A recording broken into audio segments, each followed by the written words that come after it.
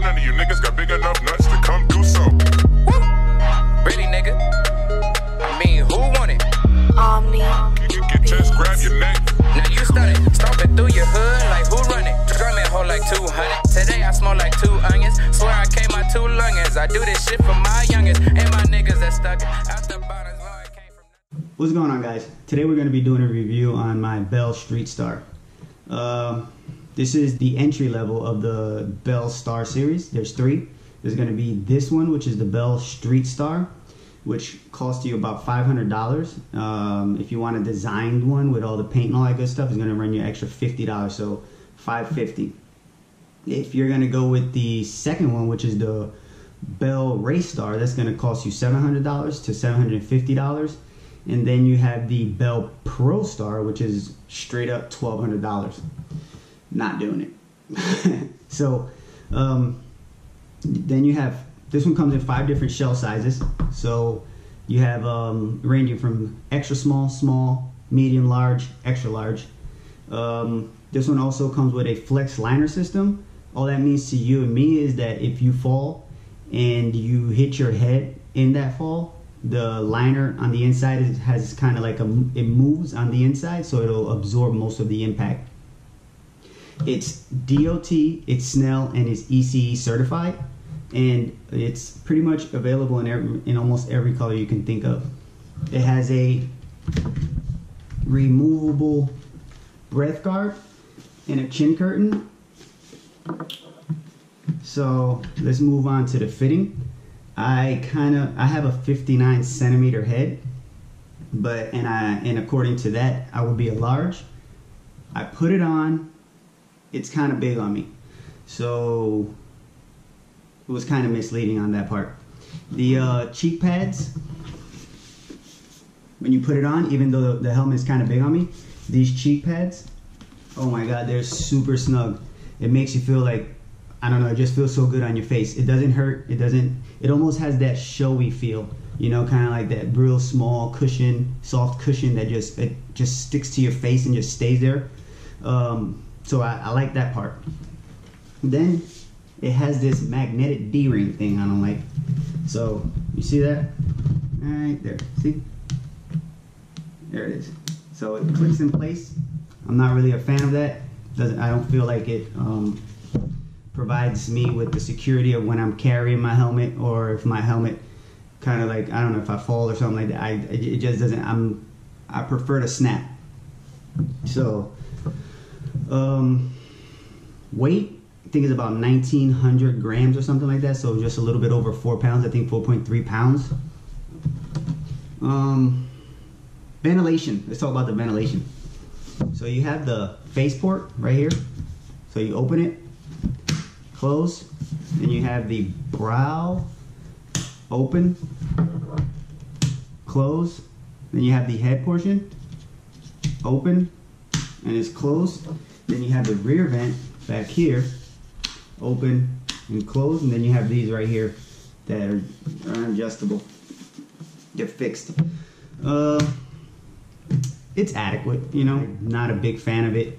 It works depending on how you face your head, you know. So if your head is like right there where the uh, windscreen is, it'll it'll give you more ventilation. Um, noise level, think it's too loud because it's too big on me. One of the reasons why I think it doesn't work for me is because, as I said, it's too big. So when I put it on, I can fit two fingers right here on my brow, and it, I think this chin curtain is too short, in my opinion. I think it should have been back here. So for vlogging, it does it, it doesn't really do me any justice. Let's talk about the face shield. The face shield is pretty. They have this um, I would say kind of peculiar way that they that you open it, which is the centerfold. So you take it, just open it like that, and um, one bad thing about it is when I, I have a chin mount, so my I had a chin mount here, so my it was my GoPro was like right about here, and then when it came up, I was not able. Once my GoPro was on, I couldn't open my face shield, and that's bad because we're in Alaska. Yeah, I got it. It's cold, but right now we're in the summer, and it gets super hot. So I, I, I just couldn't do it. And then another thing about this face shield is you only have two options: closed or open. That's it. There's no in between. There's no detent, as you call it. See that? All pressurized, and then that's it. It snaps closed. So you can kind of like have it kind of open right there, but how much air are you really getting in there? So don't really like that lift tab right there. And another thing I don't, I'm not a big fan of is it doesn't have pin locks. It does not come straight out of the box with pin locks. If you look, see, you have to purchase an additional face shield in order to get those pin locks. And I'm not about to do that. So each face shield is going to cost about 60, 70 bucks. And then if I get one, which is going to be the um, the smoke tint one, now I have to worry about when I'm riding at nighttime, I have to switch them out. And this one doesn't have a detent. Then I can get the other one that kind of like transit. I can get the transitional one, which is a hundred and some odd dollars. It's like too many factors right there. So fresh out the box, it doesn't have the pin lock. It gets um, it gets a little misty in there, and it falls up. So overall, with the helmet, I'm not really, really, really, really too pleased about it. But I mean, she looks really good. Look at that. I mean, look at that aggressive style that it has. Right? See? I mean, she's a pretty helmet, but it's just too big on me. Another negative that I find is that it's not intercom friendly. Meaning, when I when I look under the chin curtain, not under the chin curtain, under the cheek pad, there's no slot for for the Senas. So if I wanted to purchase a Sena, it would. Uh, there was another YouTuber. I'll I'll I'll, I'll leave the, his name in in the description if I can remember it, or if I can find him on my history just to you know give him a shout out, whatever.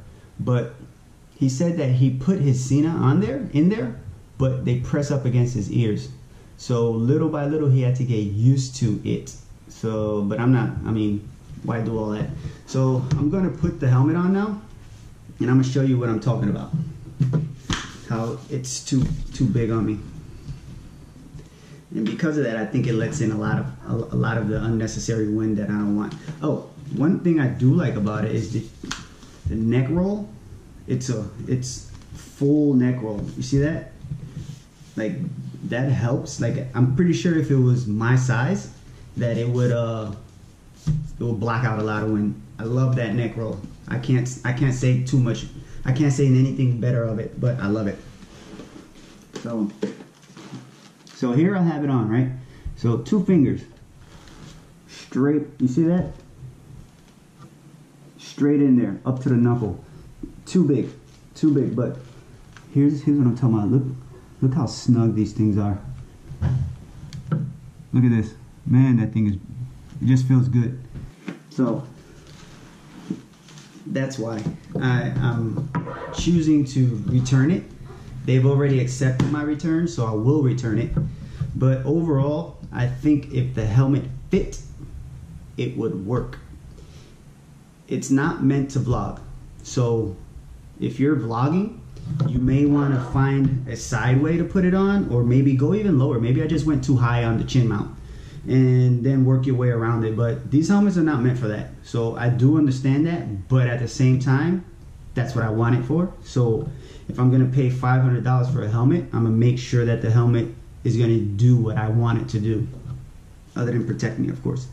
So yeah, the Bell Star, the Bell Street Star, good helmet not for vlogging in my opinion but it's a really good helmet. It looks really good. It feels really good. If it fit if it really fit on you i'm pretty sure it will work very well. It'll be a lot more quieter. This thing is i like it. Don't get me wrong. I do like it. All right one more thing. I'm to show you what comes in the box which is going to be the instructions right there. And then this this bag is awesome like they really made a good bag the choice of professionals like that then you have the inside is nice and soft so i mean it's a very nice bag they did a really good job star bell So that's what comes in the box. All right. So this was my review on the Bell Street Star. Let me know what you think. Like, subscribe, share, comment. Any any type of feedback would be good. If I forgot something, let me know. If I put to if if I put too much in there, let me know. Um, constructive criticism is always welcome. So remember, guys, stay stressed, obsessed, and blessed with life. SOB. Cruzin R6 out.